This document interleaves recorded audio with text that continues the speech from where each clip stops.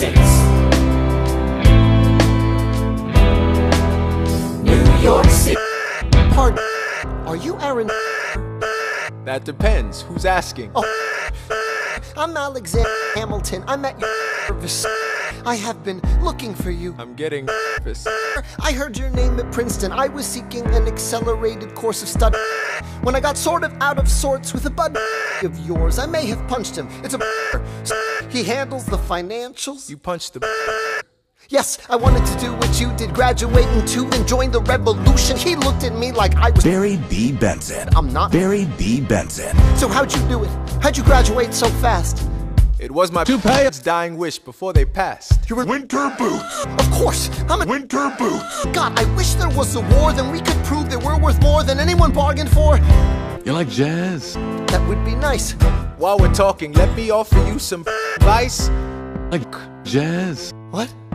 Smile more. Don't let them know You like jazz? You can't serious. you wanna get Honeyberry. Yes. fools who run their mouths off wind up dead. Hey, yo, yo, yo, yo, what time is it? Time, Like I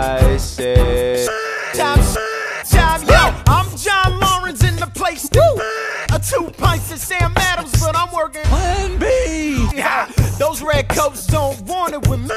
Cause I will pop, chicka, plop these cops till I'm.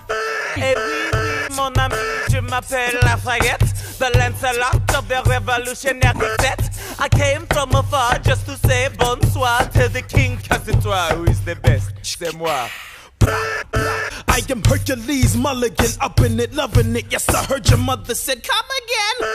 Lock up your daughters and horses. Of course, it's hard to have intercourse over four sets of corsets. Wow. No more sex. Pour me another brew, son. Let's raise a couple more to the revolution. Well, if it ain't the prodigy of Princeton College, Aaron, give us a verse, drop some knowledge. Mm, Good luck with that. You're taking a stand. You spit, I'ma sit. We'll see where we land. The revolution's imminent. What do you stall for? If you stand for nothing, what'll you fall for? Who are you? Who are you? Who are you? Barry B. Benson.